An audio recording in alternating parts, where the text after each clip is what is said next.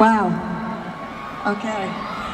I'm only going to slow us down just for a minute, but this is, before I carry on, I just want to say thank you for this crazy, wonderful welcome to Kansas City. Thank you.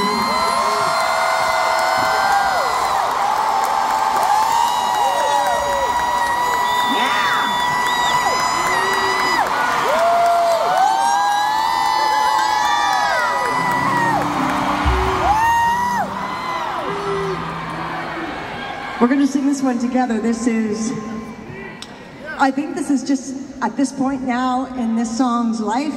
I think the song belongs to all of us. So let's just sing it together. Here we go.